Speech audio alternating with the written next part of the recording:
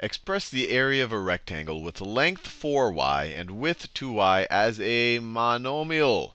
So the area of a rectangle is just the width times the height, or the base times the height. Now here, the base is 4y. So let me just write it down. Area is going to be equal to the width, or the base, times the height. The width is 4y. And the height here is 2y. So it's going to, the area is going to be 4y times 2y. Now here we can just use the associative and the commutative properties of multiplications to just swap the order that we do this multiplying in. Instead of multiplying 4 times y times 2 times y, we could say this is the same thing as 4 times 2 times y times y. And of course, 4 times 2, that part right over there, is just equal to 8.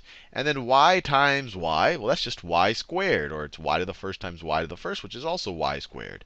So it becomes 8 y squared. So that's the area, and it's a monomial. This is a polynomial with only one term.